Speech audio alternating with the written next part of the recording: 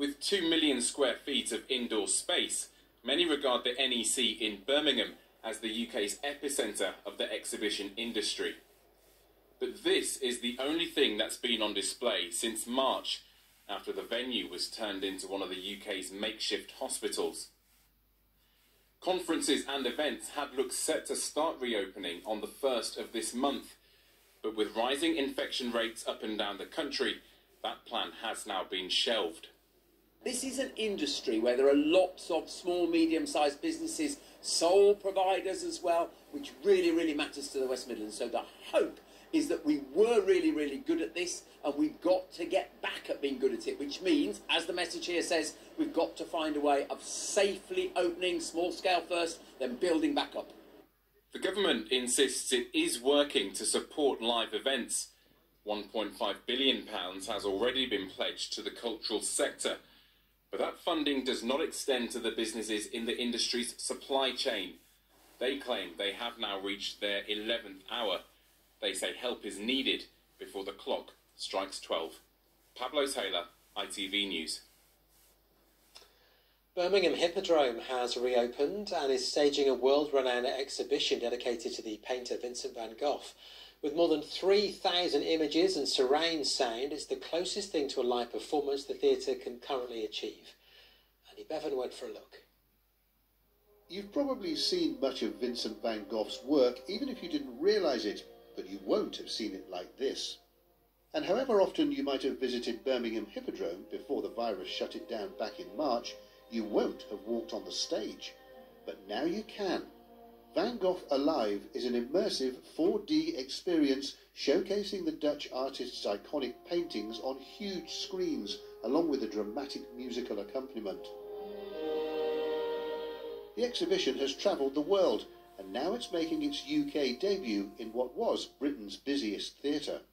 We've taken all of the seats out of downstairs, the stalls, and extended the stage right out.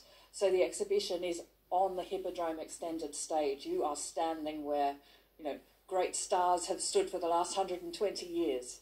Staff have gone to great lengths to make this a safe space with pre-booked visits, compulsory mask wearing and a one-way system.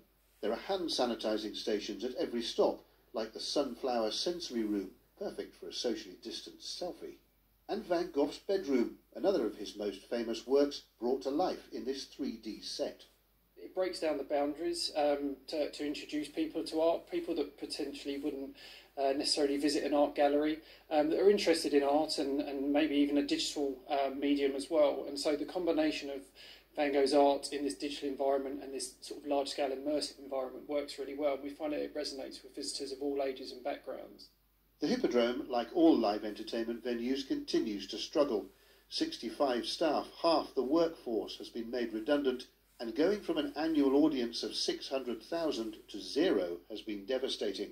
But this 12 week run, which will include audio described and British Sign Language performances, as well as relaxed and accessible time slots, could be a lifeline. I guess in dark times, there were, I thought we may never reopen again it, it's a shame that you know we're not, not gearing up for pantomime in the Christmas season, but such a blessing to have found Van Gogh alive and to be able to do the UK premiere of this really stunning exhibition.